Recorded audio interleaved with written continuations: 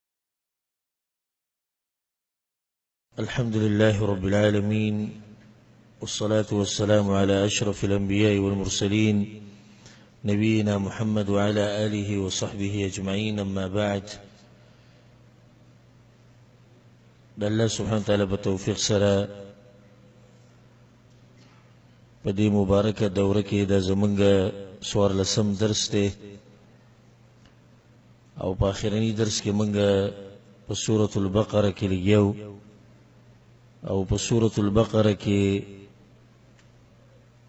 یو سل درې نمبر آیت ته رسیدلو په دې اخرنی آیتونو کې الله سبحانه تعالی دا خبره بیان کړې چې يهودو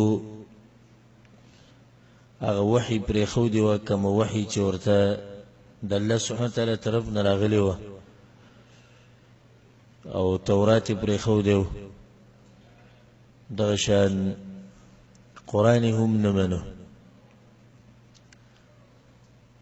او دا خبره موږ پرون بیان کړه چې کله یو سړی وحی پریدي نو دی د شیطان په وحی کې مصروف شي نو چې کله دوی دا وحی پرېښوده الله سبحانه وتعالی دوی اخته کړل په جادو کې نو په جادو پسې روان شو واتبعوا ما تتلو الشياطين على ملك سليمان وما كفر سليمان ولكن الشياطين كفروا يعلمون الناس السحر په جادو پسې روان شو او هغه وجه موږ بیان کړې وه چې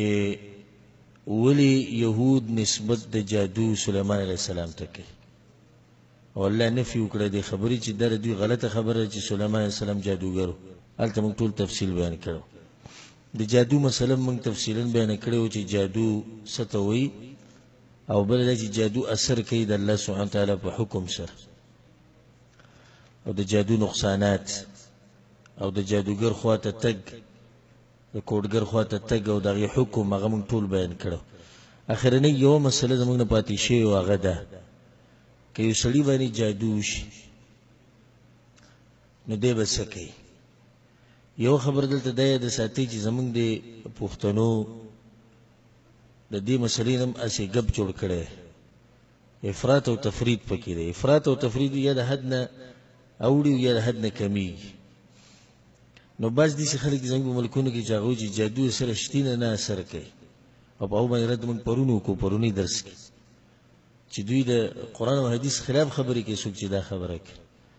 بل طرف ته کمی چې منی په او کې بعض داسې دي چې بس معمولی خبره او په د باندې چې جادو کړي خپې خوېږي چې د باندې چې جادو کړي که بیماری کې په د باندې چې کوډي کړي که تجارت خرابېږي په د چا سره کړي یعنی هر خبره هم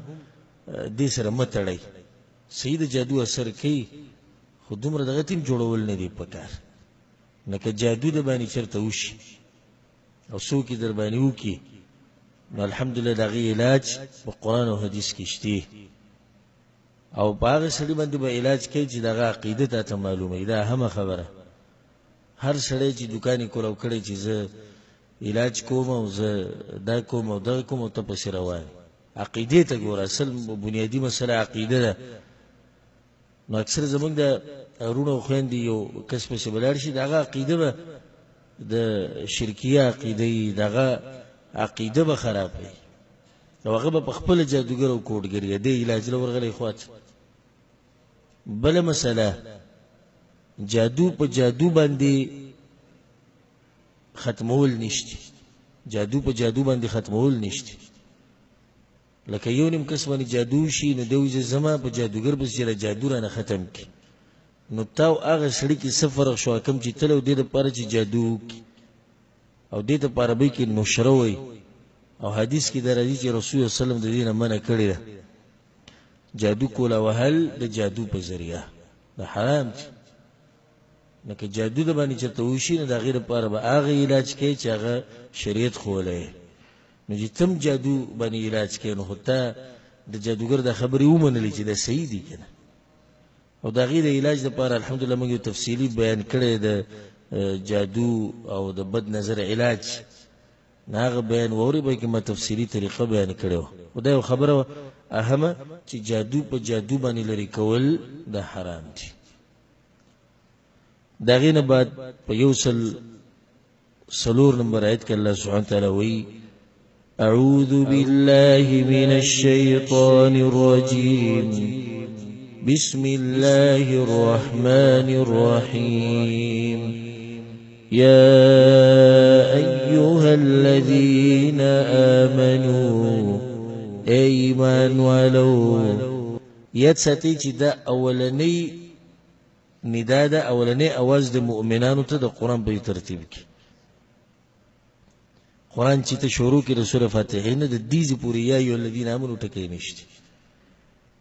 دا اولنی ندا ده او اواز د مؤمنانو ته یا ایها الذین آمنو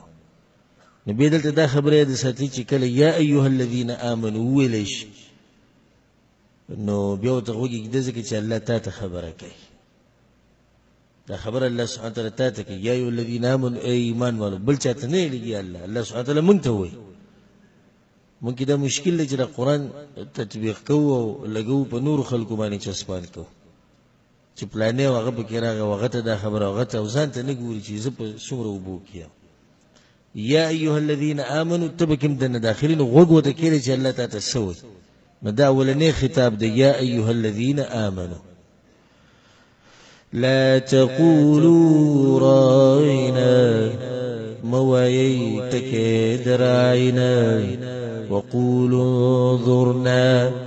او وای تکې د انظرنا واسمعوا او واوري الله وی راعینا ټکه مو وای او وای انظرنا دې څه مطلب شو دا بس خلک بار بار به دې خبرې ته اشاره کوم چې تاسو ته احساس وشي ډېر خلک ما ترجمه کړې دا به زه پوره زه دې ترجمه دا شو څه په مطلب پوښ الله وی راعینا مو وای انظرنا وای بس اوس لازم به علماو ته رجوع کې لازم به د عالم په مخ کې زنګران ماته دا غنه به تپوس کې چې دې څه مطلب شو نو صرف د قران تشه ترجمه کول په دې څه کار نه کی لازم په قران باندې ځان په کول واړي ترجمه خو دې وکړه خو ته چې د څه ترجمه وکړه دې مطلب سره يهود به د رسول صلی الله علیه وسلم خاطر راتلو ډیر او مخکې تفصیل ذکر شو او دا یو دوکه باز او حیله باز قوم او څنګه چې اوس هم دی دوی تاریخ دغه دی اوس هم دغه دی نو د صحابه کرامو به رسول سلم ته وی راعینا راعینا مطلب یې زموږ خبره واوره زموږ لحاظ وکړه موږ ته غوږ کېده نو په دې کې خو څه حرج نشته په دې ټکي کې څه حرج نشته یهودو به دین غلطه فایده اخیسته ليا بالسنتهم هغه به دا ټکی وی دا جبه به وسره لګه کګه کړه راعینا د راعینا مطلب دې زمونږ شپنکې او یا د دغوی په جبه کې قمقل ته وی نو دوی به دا ټکی وی رسول سم مطلب بدو کې چې دوی هغه خبره کې کوم چې د صحابه کرامو کوله دوی به کنځلې کولې رسول سلام ته وطعنا فی الدین لجن بألسنتهم وطعنا فی الدین دین کې به طعن کو دین پورې به خاندل الله پیغمبر ته تاسو براینا نه وای تاسو به انظرنا انظرنا مطلب مونږ ته وګوره اوس به دې انظرنا کې سن کې کده ته تیر کوګو کې کوششو کې خو سب کې نه کېږي الله ته دا بل ټکی وخو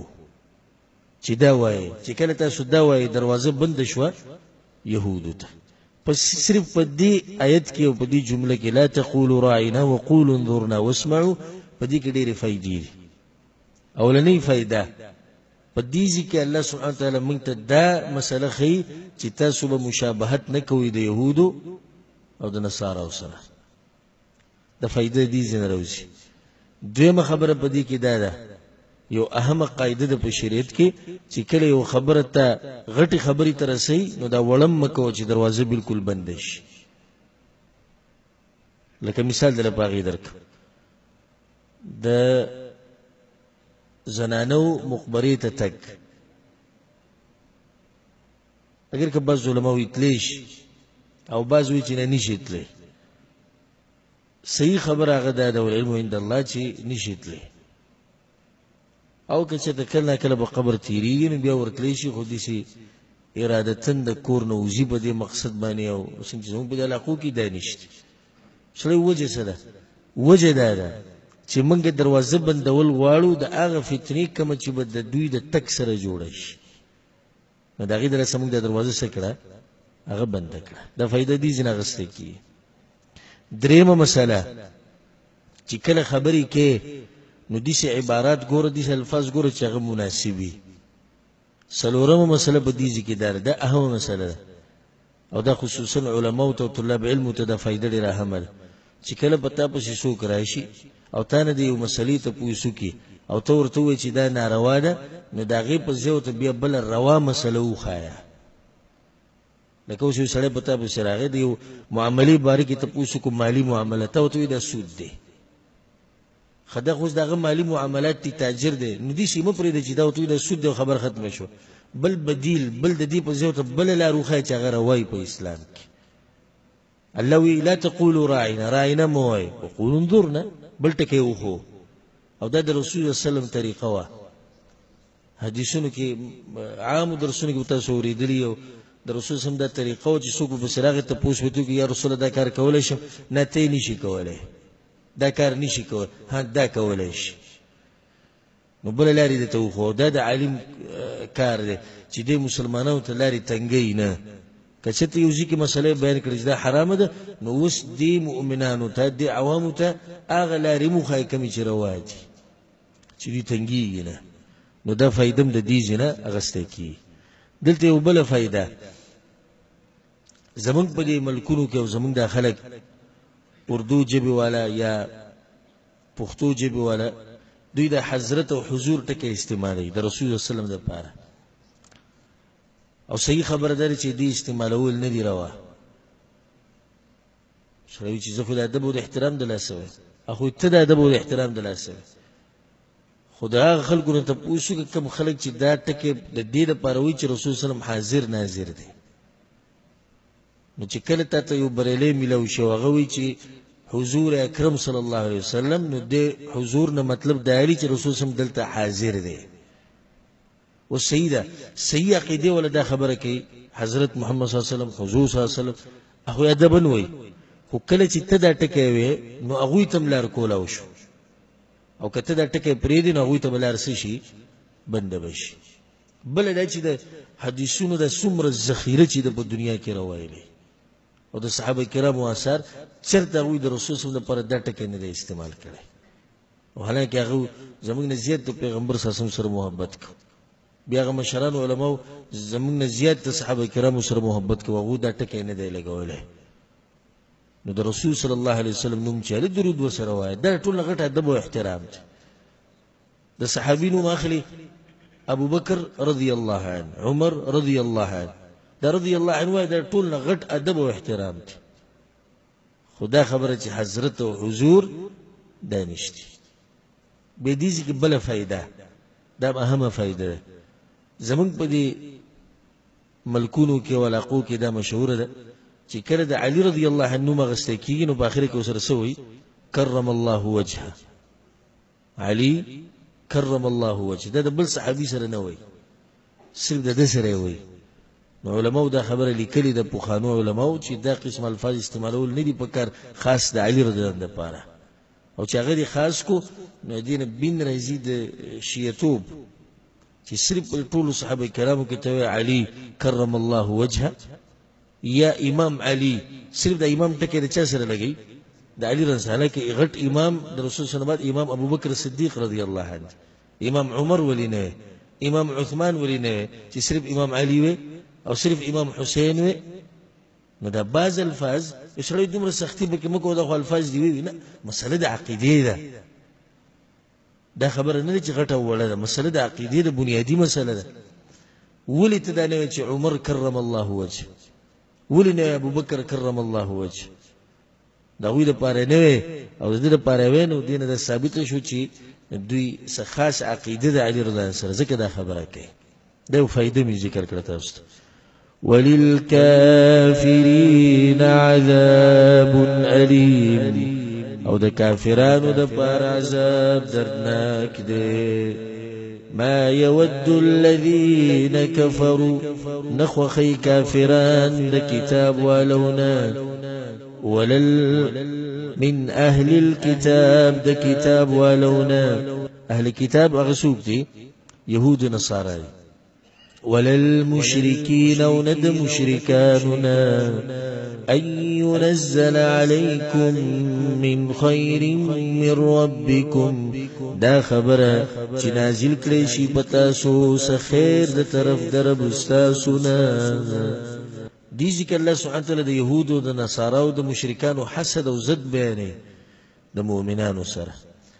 چې دوی دا خبره نه خوخی چې د الله د طرف نه څه خیر راشي په چا باندې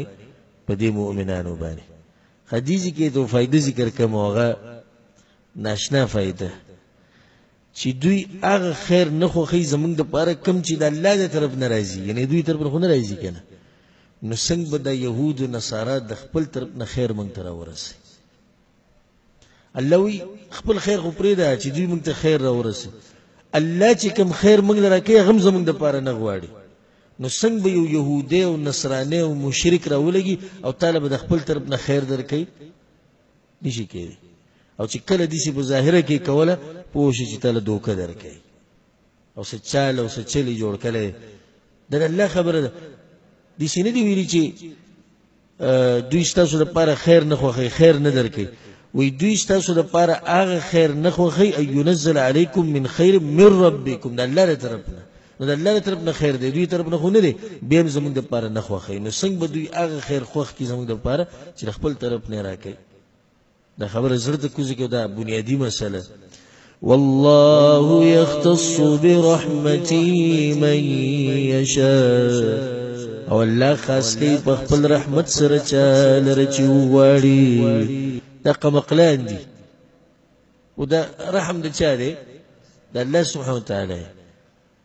او دا خود الله کار چا پوری خاص کی دا پیغمبري رسول صلی الله علیه وسلم دا خود الله کار دی الله يعلم حيث يجعل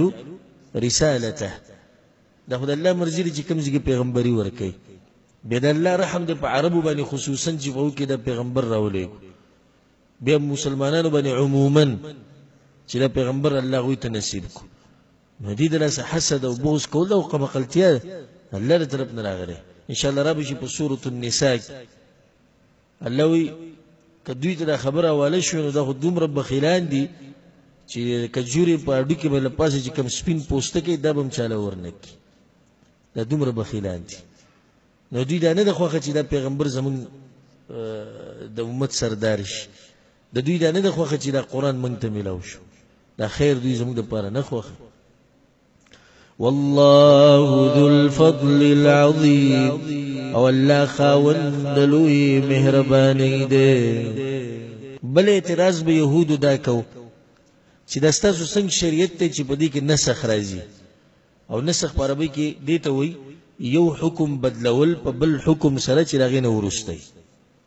یعنی یو مسله ده دا مسله بدلې دی شي چې کله په دې بس ورسته بل مسله راشي نو دې ته عربي کې سوې نسخ لکه تاسو به دا ټکی ډیر اورئ دا مسله منسوخ شوی ده او زمونږ د په ملکونو کې خو چې کله یو حدیث سره نه لګي یوسو وي وي دا منسوخ شي دا منسوخ ټکی به تاسو ډیر اورئ دا منسوخ دا مطلب وي یعنی چې دې پسې ورسته بل مسله راغلې ده نو دا مسله ختمه کړې ده نو يهود اعتراض وکړ خج دا څنګه دین دی چې دې کې مسله راشي او بیا بدلی دا څه دین شو حالانکه د دوی خپل يهودیت کې دنه د نسخ دا مسله شته دوی په دې دین کې شته چې هغه پرونه ایتونو کې برازي پرونه درسونو او دې ځکه اعتراض وکړ په مؤمنانو باندې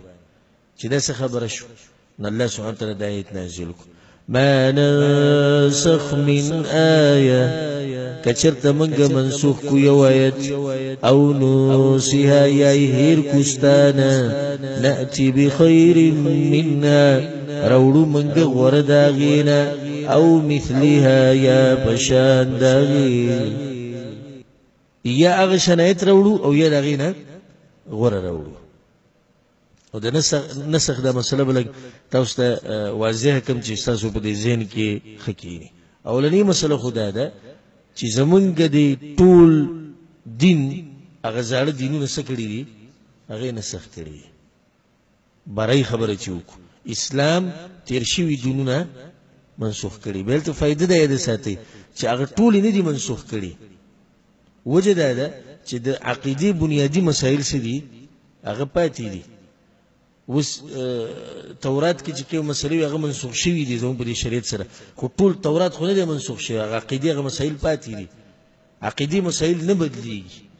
دا نشي کېدای چې نوح علی السلام ته کوم وحي شوی و هغه توحید جدای او د رسول سم ته کوم وحي کېږي د توحید جدای دا نشي کېدای یو شان دی توحید نو بنیادی مسائل سری هغه پاتې دي یا بنیادی عبادت لکه موز موز د په هر یو شریعت کې شته خو طریقه جدا ده نو سم منسوخ شوی دي طریقې منسوخ شوی دي خو بنیادی عبادت سری هغه پاتې دي هغه نه دي منسوخ شوی به دغه نه بعد راځو نسخ په دې شریعت کې دنه دا خو نسخ شو بهر خو نسخ په شریعت کې دنه دا په یو څو قسمه سره وي او دا هم مسله تاسو ته واضح کوم او په اسانو الفاظو یې واضح کوم کله خو دي سي چې یوه مسله منسوخ شي د هغې په ځای بله راشي او کله دي سي چې منسوخ شي او د هغې په ځای بله رانه شي لکه مثال په سورة المجادله کې الله څه وایي وایي ای مؤمنانو چې کله پیغمبر خواله ځئ نو څه به ورکوئ صدقه به ورکوئ دا مسله منسوخ شوه که نه د دې په ځای بله مسله راغله نه ده راغلې بله خو هغه مسله څه شوه ختمه شوه په دې په بدل کې بل مسله رانله او د سې ډېری مسلې دي چې الله منسوخ کړي په بدل کې بل مسله ور کړې ده به دغه مقصد دي کله کله الله مسله بدل کی منسوخ کی او دغه په شان بل مسله ور کی بالکل دغه په شان په دې باندې خپل مثال هم نږدې روان دي قبلي مسله بیت المقدس ته رسول صلی الله علیه وسلم مونږ کو کړ بیا الله منسوخ کړ سته وړوره کعبه ته نو دا اوس منسوخ شو خو یو شان دي یعنی یو شان دي نه پکې یو ګران دی نه پکې بل سان دی یو شان شو خکل نه کله دي سکیږي چې کوم مسله چې منسوخ شي هغه کوم چې په سره شي هغه اسانه او غولنې سي اګرانه هغه باندې مثال په صورت الانفال کې براشي چې اول په شریعت کې دا و چې یو مجاهد به د سو کافرانو مقابله کوي د لسو یو مجاهد به د لسو کافرانو یکم منکم 20 صابرون یغلبو 200 شل به د 200 مقابله کوي او سل به د سو کوي د زرو مقابله کوي الان خفف الله عنكم وعلم ان فيكم ضعفا اوس وی الله مسله اسانه کړه الله ته پته تاسو کمزوري نو د یو په مقابله کې سو توا اوس هغه زړه مسله منسوخ شو په اسانه مسله باندې د چې بس کوم رااله د اسانه د ګرانه ده هغه اولنی چې هغه سوا اګرانه و خکل نه کله دي سکی دا کوم چې منسوخ شي دا اسانه او غولنی سي د کوم چې منسوخ شي دا اساني چې په سره شي اګراني او پغی مثال لکه څنګه چې دوی وي لکه په سورۃ النساء کې براشي چې مخکې داوه چې یو خزه فحاشیو کې نو دا به په کور کې بندې په کور کې به بندې درې دي سزا ده وروسته بیا حکم د سره راغی رجم چې دا به رجم کې چې کله د دې واده یي او دغه شان هلک نو د رجم دا مسله ګرانه ده که دا بندول په کور کې ګران دي د رجم دا ګرانه ده نو کله دې سین کېږي په دې ورسېدی که نه مسله منسوخ شي نو کله یو شاهد معنی منسوخ او ناسخ او کله منسوخ ګرانی ناسخ اسانی او کله ناسخ ګرانی او منسوخ صحیح هغه اسانی والعلم عند الله دا غیر بعد به دا مسله ده ساتي چې قران کې د نسخ چې کله راځي نه غدي سي چې تلاوت هم ختم شي او حکم هم ختم شي لکه آیت الله سکی لری کی دي ځکه الله سو او ننسها ته مونږ چې تیوت منسوخ کو یی هیر کو هیرولو مطلب څه دی د قران نه بالکل ختم کو نو په دې قران کې داسې آیتونه وو چې اوس نشته په دې کې او حکم هم نشته لکه هغه مثال قران کې دا آیت وو چې یو ماشوم دی او زنانه نه لس پیری په وسکی نو په د باندې د زنانه څه شو حرام شو لس پیری نغه آیت منسوخ شو غایت شته په قران کې په یو ځکه دې آیت نشته هغه حکم منسوخ شو د لسو پیرو په یوس کلو دا مسله دام ختم شوه په دې ورسې دی کنه درس په اخر کې دې چې ته پوسو کې دویمه طریقه دا ده چې حکم منسوخ شي او تلاوت پاتې شو دا ډیر دي هغه تلاوت پاتې شو او مسله څه شو ختم شو لکه مثال چې یو خزي خاون مرشي نو څومره عدت به تیری یو کال یو کال به تیری د یو کال دا مسله څه شوه منسوخ شو حکم ختم شو هغه آیت شتی په قران کې نشتی آیت شتی یا دې باندې دغه مثال هم خرازي چې پیغمبر خواله ورځي نو سبا وړي صدقه قدمو بین یدی نجواکم صدقه هغه مسله ختم شو خو هغه آیت څه شو هغه پاتې شو خکل نه کله دي سکیږي چې آیت ختم شي او مسله پاتې شي د قران کې دي آیتونه وو چې هغه ختم شوی دي الله منسوخ کړی دی او حکم څه دی هغه پاتې شوی دی لکه په قران کې یو د آیتو الشیخ والشیخه اذا زنیا فرجموها البتة نكالا من الله والله عزيز حكيم چې کله یو الک واده کړي یو جنی واده کړي د واده شوی او دوی زنا وکي نو دا به رجم کوي نکالا من الله عذاب د الله طرف نه سزا ده والله عزیز حکیم دي سید په قران کې شتي وس نشته خدا مسله شتي کې نشته دا مسله شتي نو آیت ختم شو حکم څه شو هغه پاتې شو په دې ورسې دی کنه دا مسلې چې کله په مدرسو کې او په جامعو کې بیانې د هغې لپاره غټ غټ کوششونه دې طالبانو کړي او هلته ځي او ناست او لیکي او کتابونه او شي بل شي تاسو ته ما د ټولو مسلو حاصل په اسانو الفاظو کې بیان کوو که دې نه بعد بیم تاسو نه پوه شي نو بیا لا یلومن الا نفسه خپل ځان دې ملامت کړي دا ما په واضح طریقې سره تاسو ته دا بیان کړو چې دا نسخ څنګه راځي او څنګه نه راځي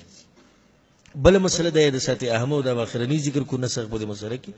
چې نسخ ګوره په احکامو کې راځي په عقیده کې نه راځي او نه په قصو کې راځي قران څو قسمه ده درې قسمه کم کم ده قصي عقیده احکام قصي توحید احکام دا نسخ صرف په احکامو کې راځي په عقیده کې نه راځي دا کې دي نه چې الله تعالی ته دا وایي مثال اسی چې زمانه علاوه بل چاته بچغه نه وای را مدد شبه نه وای او بیا په بل صورت کې وای چې وای نه بنیادی مسلې نه بدلیږي عقیده کې نسخ نشرات خه قصه کې نه راځي قصه کې نسخ راشي بیا غزړه قصه دروغ ده لکه اوس الله د موسی علی السلام قصه بیان کی چې فرعون دا چل دي سی وکړو بیا په بل صورت کې هغه مسله پرې دی وی چې نه دې ځکه فرعون نو دلته هارون علی السلام ولاړو نو پلاني ته غدا خبره وکړه نو دا خدای سره قصه شو او دروغ شو نو په قصو کې نسخ ناراضي او په عقیده کې نسخ احکامو کې راځي د عبادت او په مسلو کې راځي چې دې څه کوي الله ویني دې څه کوي یا دې څه کوي الله ویني دې څه کوي په دې کې نسخ راتلی شي اهمه خبره غدا دی د ساتي د نسخ چې د عقل مطابق ته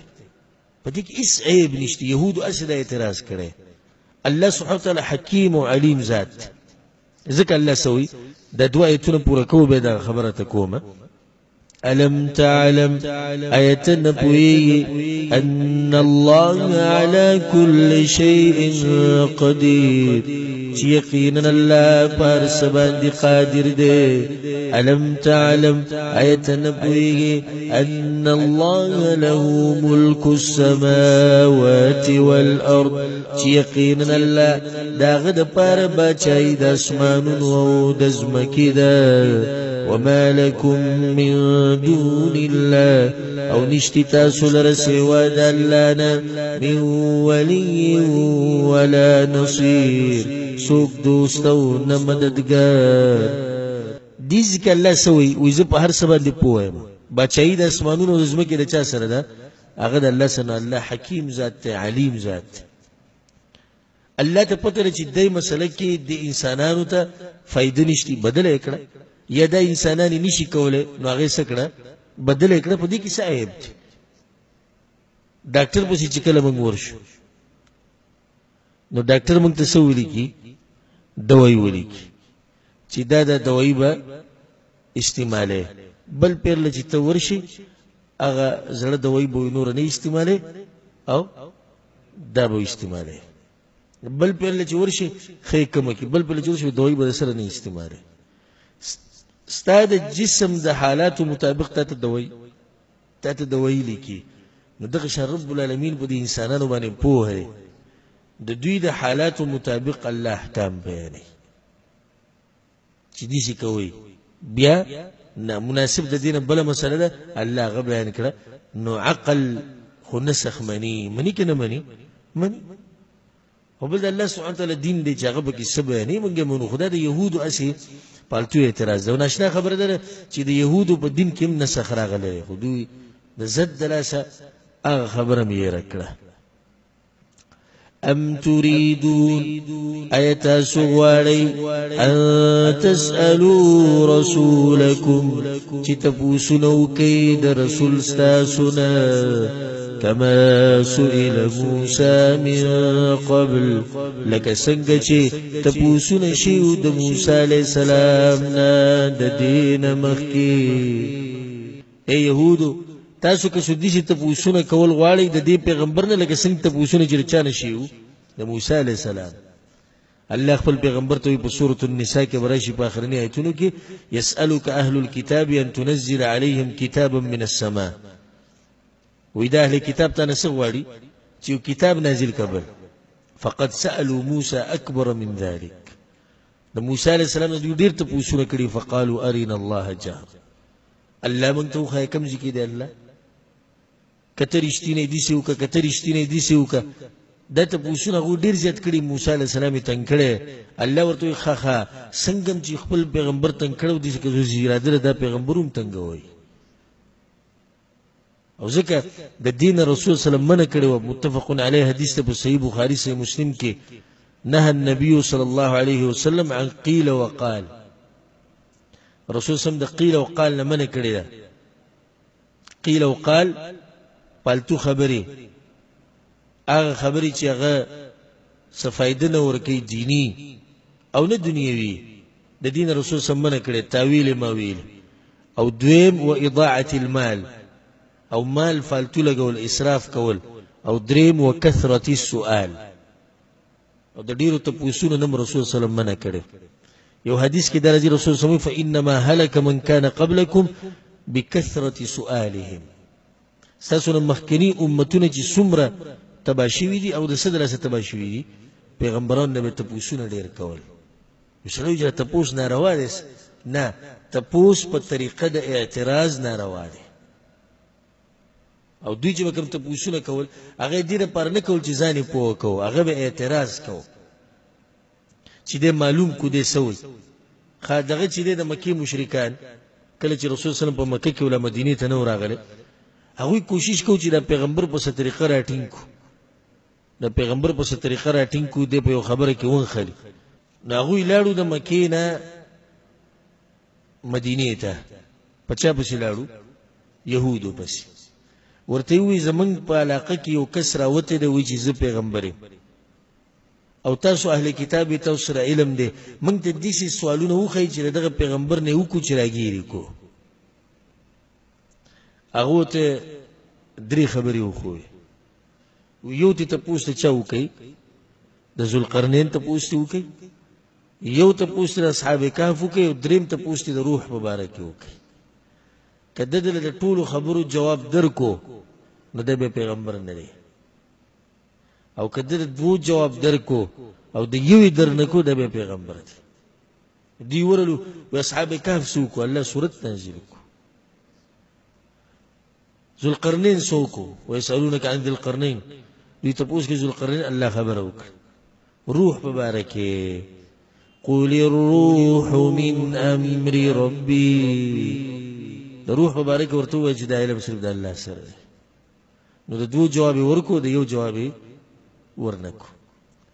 نو دا سوالونه به غوي په طریقه د اعتراض کول یو خو سوال کې سره را پاسې وي چې ځان په دین په کوم هیڅ خبره نه نو د رسول صلی الله علیه کله چې رسول سم دین من کړی ته پوښونه به نه کوي نو صحابه کرام هغه ډیر منون کې خلک نو دغه په زړونو کې ډیر سوالونه صحیح سوال وو خو نشو به کولای ادب او احترام دلاس ځکه انس ابن مالک رضی الله عنه چې موږ به انتظار کوو چې څوک راشي څوک باندې چی راشي او تاسو کې چې باندې چر هو بګی دي ته نه ګوري چې اجازه شته او کني شته ناغه براغه بدو براغه ډایرک به تاسو نه شروع کړو دا غوي به دا خو خوا چې دې څوک راي تاسو کې موږ ته علم زیات شي نو یو خو دې ته نه ګوري چې سوال اجازه شته او نشو دویم دا غوي سوال سي هغه ناشنا سوال حدیث کې دا راځي چې یو بدو راغی پر رسول الله سلام پسې او جمعه تر نن وته نو ته پوښو کو د عبد المطلب غزوه کم ځای کې دی د پلار نوم ولم وانه غست د چا نوم ولم واغس نیکا کم ځای کې عبد المطلب غزوه او د رسول سما جزیه و چې هغه د ملګرو سره یو ځای کې ناست نو پته بچانی شو لګولې کم ځای کې د پیغمبر نه غوته دغه سور سپین چې ناشته د عبدالمطلب زوی دی نو راغی پسې وی تر عبدالمطلب زوی هغه یو ځای وی زه به درنه سوال کوم او مشدد علیک فی السؤال او سوالونه کوم زما ډېر سخت رسول سم ډډه لګولې و مسکی شو نیغ کېناست وی څه سوال یې کوی وی اسمان چا جوړ کړی هغه الله ځمکه چا جوړه کړې الله دا غرونه چا ودرولې الله وی د دغه رب په نوم دنه تپوس کوم او قسم دنه در کوم کم رب چې د اسمانونه او د ځمکې او د غرونو ودرولي تا لره لګلې هغه یو ځل لره لګلې به ول دا قسمونه ورکو به وتی مونږتی په شریعت کې او یوشتي به دا قسمونه ورکو زکات شتي ویوشتي به دا قسمونه ورکو ته پوښتنه حج او وشتي د روجو ته پوسی کوي دا شتي یو بس صحیح ده دغه ته پوسی نه وکړو قسمونه خو هغه داسې قسم ورکو خبره زړه ته کوزه شو بس واپس شوی نه ډیرو مو نه کمو هم دغه وکوم رسول صلی الله علیه وسلم وی کدا سره رښتیا وی او پر خپل خبره عمل کو د جنت دی نو دا غوډه سوالونه هم ډیر سخت څنګه شنه سوال به وکړه بلو کله کله پر رسول صلی الله علیه وسلم ځکه یو ورځ صحابه کرامو له دې سوالونو خون ورکړه او بس سوالونه کول کول رسول صلی الله په منبر باندې خو سوال چې کله کې نو دې تم ګور چې مخامخ سړی ستړی دی د مده وخت سره شتي کنيشتي د دې باز سره د خپل سوال غوي خپ دې ځکه به دې راټینګ کی چې ته به جوز سوک دې مخکې ورځو کې زه چېرته تلم واړه راسره وو او یو کس راغی وي زه تپوس کوم نو زه درته څه ووایم سړی حالاتو ته ګوري ځي ته ګوري وخت ته ګوري دا ځای د تپوس دی نه دی دا سړی ستړی دی دمه دی تپوس خپل ادب دی موږ بیان کړي که تاسو اورېدلي تفصیلا د عالم نه تپوس کولو آداب خیر ما دا خبره بیانوله چې ته پوښونه ډیر شو ډیر شو کس پاسې وی رسول زما پلار کم ذکر دی نو دا خو سوال نه دی ستا پلار کم دی مړو دغه پلار رسول صلی الله علیه په جهنم کې دی الله ورته ویلو په جهنم کې دی دې سره خپش نو دې ځان ته خپل دا مشکل جوړ کو څه ضرورت وي ته دا تاسو کې الله ایت نازل کړ یو الذین آمنوا لا تسألوا عن اشیاء ان تبد لكم تسؤکم ای ایمان ول دا غس شین مبارک ته پوښتنه وکړي چې تر اخکار شي بیا بخپش نو دې دلسه صحابه کرامو به ډیر ته پوښتنه نه کول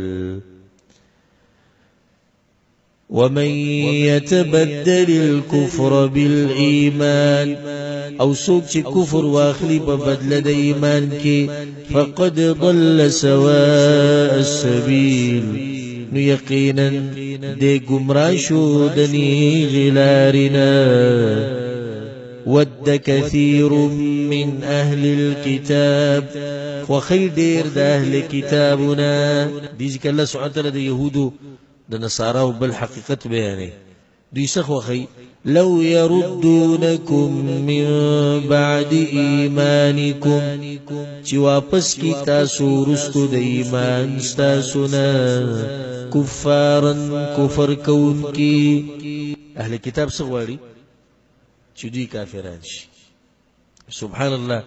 د ټول عالم کې نظر وچورلوه کفر او کافران شرک او مشرکان په قسمه قسم ډلو کې چې څومره دي او څومره مذهبونه دا ټول اسلام ته یو دي ټول اسلام ته یو دي يهودي نصراني هندو سیک بوذي چې سب بلا دي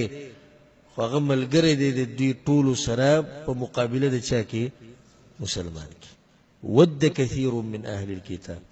او دا حقایق رب العالمین بیانې هغه رب بیانې چې هغه په زړونو عالم دي او موږ په خپل سترګو ولیدا او به پوه شو چې کفر ټول یو دی منته زمونږ ملکونو ته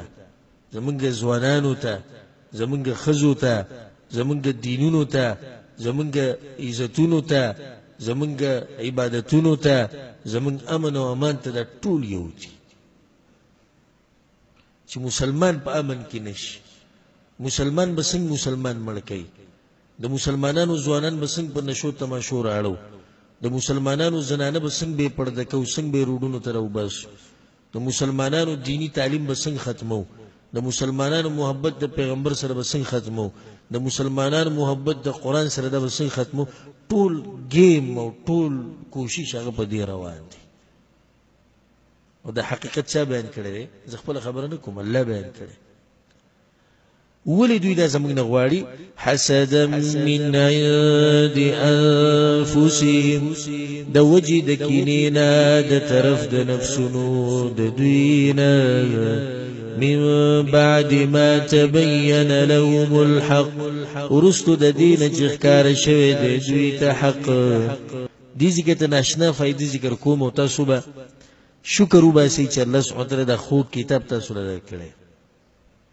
او فائدہ دا ده يهود نو سره موږ سره حسد کوي کنه کوي کوي حسد سره الګ کوي چې کله ته پته ولګي چې د پلاني سره چې څه شي دی د فائدہ مند دی او د حقیقت دی يهود نو سره د اندوانو سره حسد کوي نه کوي يهود نو سره د سکانو سره حسد کوي نه کوي يهود نو سره د بوذيان موزيان د شینه چې دوی سره حسد کوي نه کوي موږ سره حسد کوي لیکن په ټول دنیا کې ته موږ ملو شو چې حسد کوي موږ سره وجه دا ده چې دوی ته په ټولو ته ښه پته ده چې د دوی سره چې څه دي دا اصل حقیقت دی نو ځکه زموږ سره حسد کوي لکه اوس دوه کسان دي د یو سره سم ډیر مال دی د دې بل سره د سره مال نشته حسد کوونکی به د چا سره حسد کوي چا سره چې مال دی د دې بل سره سره حسد کی نو دا فائدم زړه ته کوزه شو د ډېر ناشنا فائدې ده يهود او نصارا چې موږ سره حسد کوي نغوي خبر دی په دې چې حقیقت او حق دین هغه د چا سره دی د مسلمانانو سره دی که صرف د دین د لاسه دوی موږ سره دښمنی کوله نو دوی چې د ډېر خلکو دینونه بدل دي د دوی د دینونو نه دا اوس ورو دښمنی نه کوي دا دشمنی صرف زمونږ سره کوي د دې د لاسه کوي چې دوی ته پته ده چې اصل دین هغه دا دی او به درته ویم په دې مسلمانانو کې وتم بیا پته ده چې کم په حق دي دا وتم بیا پته ده لکه د تصوف دا دین چې دی د ګوټونو دا دین او د الله الله چې کوي خبا قاعده د انګریزانو په ملکونو کې په ریډو باندې دي چې چینلې راځي او په ټي باندې چې دا غینه د تصوف خوري ته به حیران شي الله وی دوی ته سره حسد کوي او دغه ځکه چینل چلیږي په کې د بیان دی د مسلمان دی د بیان په کې څنګه لګیدلې وجه دا ده هغه ته پته ده چې د تصوف کې چې کله ورننه وتی نو حق دین د نس شو هغه پاتې شو ځکه دا تاسو ورېدلی وې د بازو ته د دنیا په هر ملک اجازه ته بیان کولو خیالم دې کنه دې دې بازو ته اجازه ته چې سکی کوي ولی هغه ته پته لري چې دوی کې څه نشته نو په دې مؤمنانو مسلمانانو کې چې کم حق پرستی دا مغوی ته معلوم دی هو خدي ارسنه خبر دي الله سبحانه تعالی پر دین باندې موږ د مرګ پورې قائم او دائم لري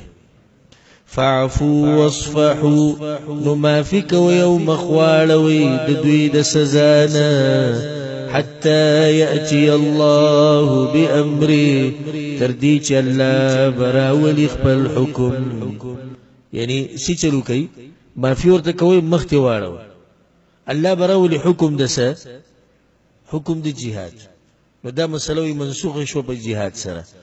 خو صحیح خبره چې نه ده منسوخه شي دلته مطلب دا دی چې تاسو د دوی نه مخ واړوي خپل دعوت مو دروي خپل دعوت کوي ته چې د هر چا خبرې ته ګوري او ودرېږي بیا خو ستاسو ستا کار نه کوي دین بدنه پاتې شي دا مسله خو اوس هم په شریعت کې شته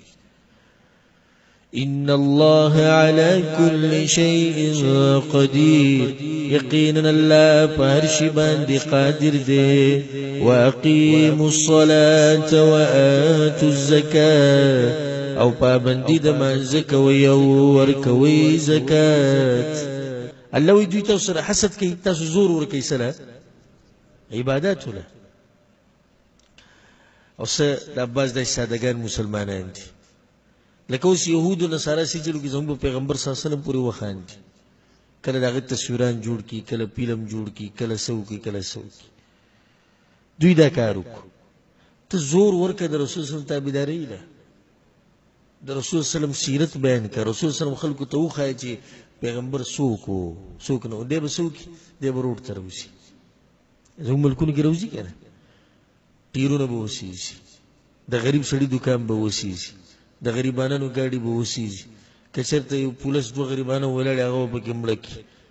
او ټول کڅوک بیمار دی امبولانس ته لار بند شي کڅوک کاروبار لته وړه غو ته لارې بند شي ټول نظام درهم برهم کی دا وی موږ د چا سره محبت ته رسول صلی الله علیه وسلم سره دا نه پوهیږي ساده سړی دی دوه کارونه هغوی وکړو او موږ پوه نه شو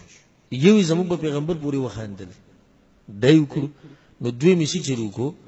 زمونږ په لاسې موږ ته نقصان راکو زمونږ تجارتونه زمونږ ګاډي زمونږ کورونه زمونږ دکانونه هر څه موږ په خپلو لاسونو خراب کړو نو هغوی په دې څه خفه کېږي خو نه چې ته روډ ته راوځي بلکې هغوی غواړي دا چې دی څه ته راوځي دی روډ ته راوځي او دې د دکانونه وسیزي او دې د چغې ووایي او دې پکې زخمی شي هغه هم دغه غواړي نو تاسو څه وکړو څه فایده دی وکړه ستا دې روډ ته راوتو څه فایده وکړه د مظاهرې او د روډونو ته راوتره چغې مغوال دا په شریعت کې ګورې نشته رسول سلم په مکه کې څومره کلونه تیر کړي دیارلس په دې دیارلس کالو کې یو مظاهره کړې ده ها نه دې کړي روټ ته راوتی صحابه کرام راوتی روټ ته چې موږ کمزوري خپل حق واړو چې ته سزې سشي سيزلې چې ته سزې وران کړي نه چې طاقت تي نشتی غلې کېده بس خبره ختمه شو خروټ ته راوته دا خو ته خفه سات جوړه بل دا چې دا يهود او نصارا په ځم پورې خخان دي چې یو خو تاسو موږ له دا نقصان راکو چې زموږ په پیغمبر پورې مو خاندل بل طرف ته موږ ځان له خپل نقصان ورکو نو دا فائدې د ساتي چې دا مظاهري مظاهري او د روډونو ته دراوته او دا چغي چغاري د په شریعت کې د په شریعت کې نشته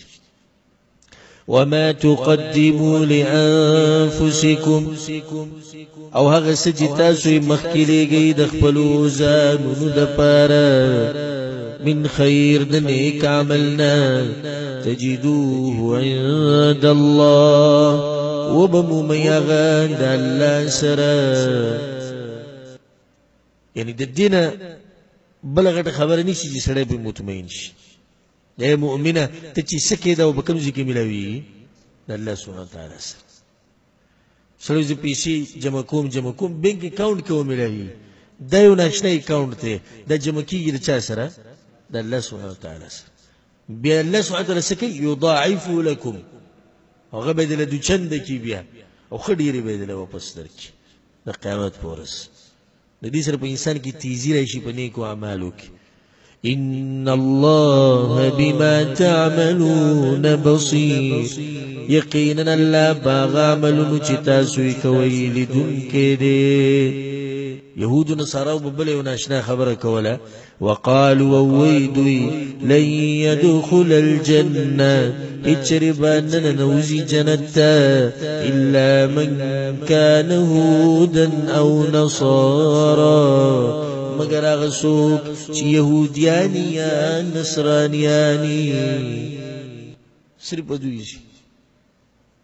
ځوان زامن دي هر څه ځان له ټیکه کړي دي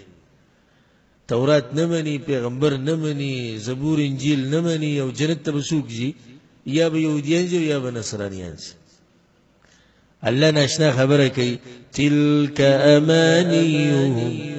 دغه خود دوی ارمان ندی الله به دلیل خبري پرمان مې تاسو کار کی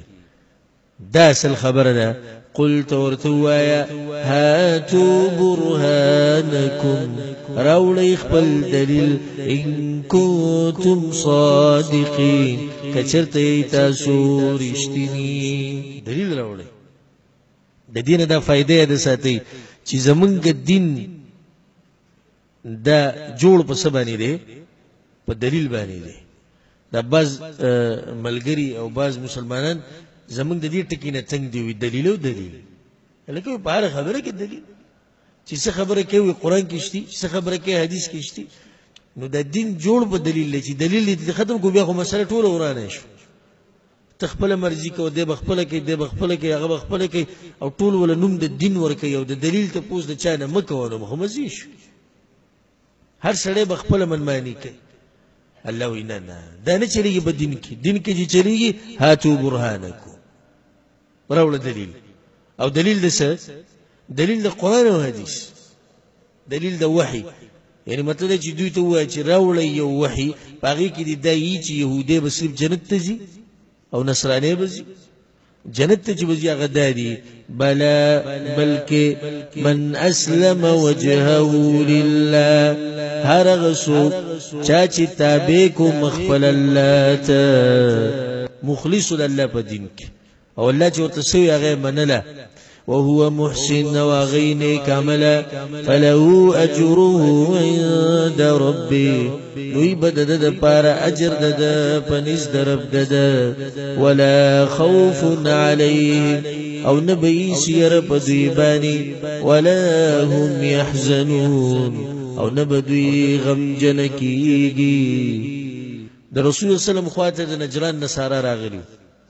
په سورت ال عمران کې به تفصیل راشي نو بحث مباحثه شروع کړ د خپل دین په باره کې يهوديان هم نش نو دوی په خپل مباحثه کې رد کو په چا باندې په يهودو باندې د سر يهوديان راګرم شو يهوديان موليان هم نش د رسول سم په بیٹک کې په مجلس او نصرانه نصارو ته وی تاسو یې سم نه نه انجیل منو نه عیسی علی السلام منو زی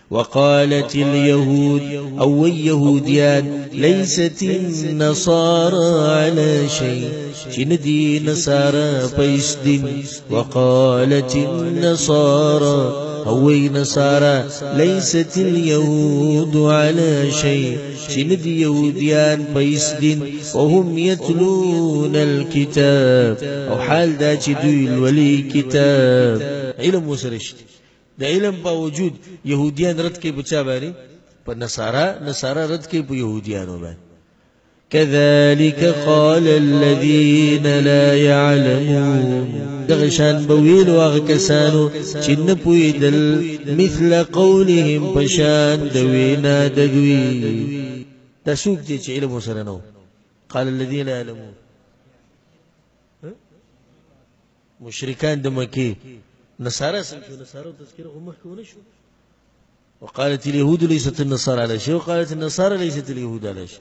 الله دغه شان وینا هغه خلکوم کړي چې علم وسره نه نو بعض مفسرین دلته مراد څوک دي د مکی مشرکین هغه به وي وی رسول سلام په هیڅ دین نه لري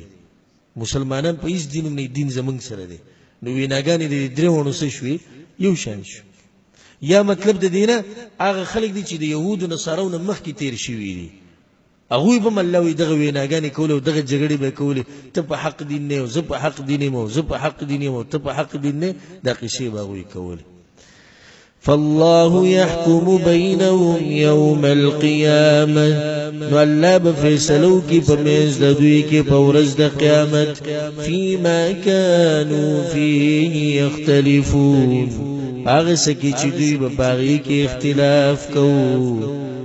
د قیامت پر ورځ به پته ولګي چې يهوديان په حق دي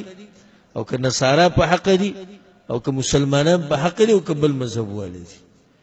قیامت ته ورځ ګوره ډېره ناشنا ورځ ده ډېر غټ غټ فیصلې به په دغه ورځ کېږي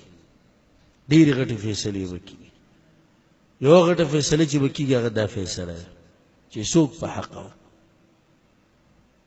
او دا فیصله به کیږي د کمی جنگ جګړې چې زمونږ به خپل منځ کې دي یو بل سره ورانی او پس خبره په کله په وړه خبره کله په غټه خبره حقیقت به کوم ځای کې معلومیږي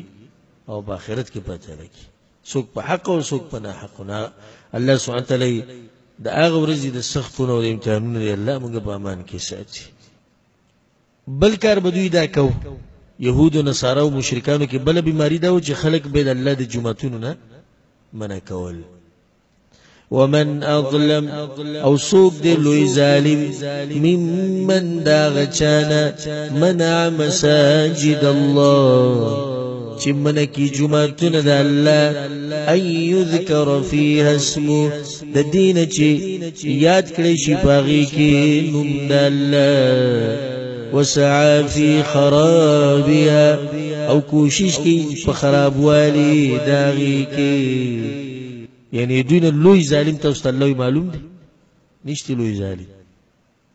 لکه يهودو به د بیت المقدس نه خلک منع کول مشرکانو به کوم ځای نه منع کول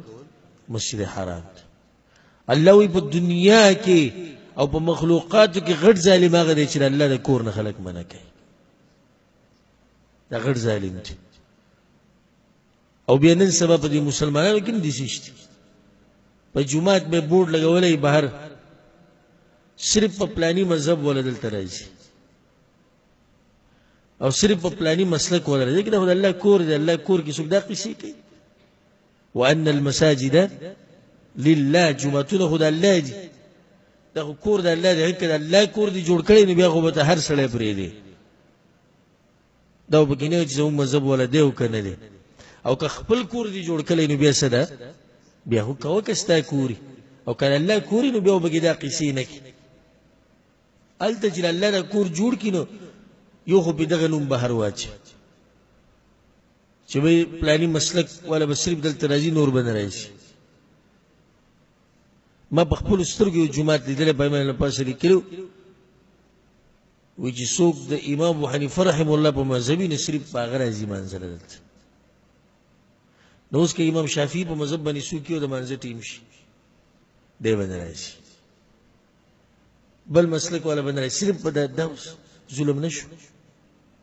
چې تر الله د جمعات نه سره صرف په دې منه کې چې د امام ابو حنیفه په مذهب باندې نه دی نو ظلم شو ان المساجد لله کستا کوری بیا خو سید خدا خو کور د الله نه یو دا مسله بل مسله په من کې بیا دا ده چې هغه د دین وړه ده خو بیا مسله دا هغه ده که څوک چرته جمعات جوړ کی نو بیا دې په هر ځای کې به ځان ښکاره راښکاره کوي چې د خلکو ته پته ولګي چې د جومات چا جوړ کړی ما جوړ کړی او دا مولا به د دې ځینې نیولی نه پرېږدي دی به راښکاره دا چل دي چې مولي صاحب دا ولي او دا دي چې روزانه به دی چغې چغارې وایي په جومات کې کته به جوړ لکه جومات ته جوړ کړو خو پېږدي کولو څه لکه بس دی خلک به تنګ شي هغه مونځ به یې ته هم پرېږدي په دې ځای کې د الله کور دی جوړ کو د سر خپل نوم مې دا چې ما جوړ کړي ځکه چې تجارت ته چا سره وکړو د الله سره دی کو بس الله ته پرې د تجارت د الله سره نشو چې ته زیب زی راي دی دا تجارت ته د انسانانو سره کې او د انسانانو ته خې چې به زم سو کیما د ځان نه بقي سره واخلي مونږ سره ملو شي دي ډیر کسه د ځان نه به یو قیسه را واخلي هغه قیسه به یې راتاو شي څه ته دې ته چې په دې جومات کې ما خرچه کړې ده څه له دا بیانې بلکې دې شي که څوک تپوس مې کوي راوي د الله یو بنده و هغه دا کار کړی او دا کار په دې عربو کې ښه دی چې دوی اکثر چې کله سړي چې د خیر کار وکړي نو هغه پټۍ چاته ښکاره کوي نه او زموږ په دې خلکو کې دا مشکل شته چې د خیر څه کار وکړي نو هغه بیا او اوس خو فیسبوک راوتی دی دغه اوس خو بلکل صرف پوسټ کول غواړي بس صرف نشر کوي دا کار مې وکړو ټول دنیا ته ورسینو ته کله دې خلکو د صفت د ګټلو د پاره دې کړه به خو سید او کړه الله رضا په حاصلې نو به خو الله سره د تجارت کړه دی یو الله سره پرې ده کړ نو دم کول نه دی پکړ دی خبر به زمون کړاله نو دا غټ ظالمان دي چې خلک منه کوي د الله د کورونو نه وسعى في خرابها کوشش کوي د ورانولو داغه د جمعه ورانول په دوه قسمه څنګه آبادی ورانول عبادت نه خالی کول د دوړ جمعتونو ورانول یو سړی د آبادی نه ورانی خدا اعلان وکړي چې دلته عبادت نه کوي دم جمعه توران کوکه نو دا ټول بګی دن نرال اولائک ما کان لهم ان يدخلوها دا کسان ندی مناسب دوی لچ داخل شي دغه جمعتونو ته الا خائفین مگر یریدن کی پدې کې زیره د مؤمنانو ته او غدا دې چې اے مؤمنانو خبر ورکې الله دسی وخت برایشي او را روان دي چې دا کفر او کافران به یری دی جمعتونو ته به دوی اسی نشي نه وته تاسو نه به دومره یریږي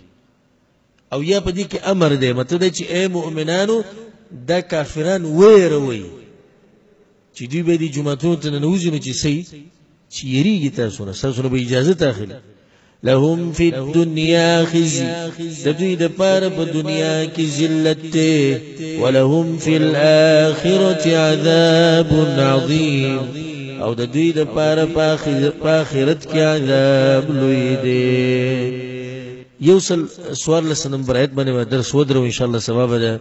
یو سل پنځلسم نمبر آیت نه شروع کو الله سبحانه تعالی دې مونږ په قران باندې پوک الله سبحانه تعالی مونږ توفیق راکړي په قران باندې عمل کولو او څنګه چې الله سبحانه تعالی مونږ په دې مبارک جمعات کې یو ځای کړیو نو دغه شان دې الله سبحانه تعالی مونږ په جنت الفردوس کې د رسول صلی الله علیه وسلم سره یو ځای کې سره د هغه مؤمنانو د هغه ملګرو چې څوک دا درس اوري اینی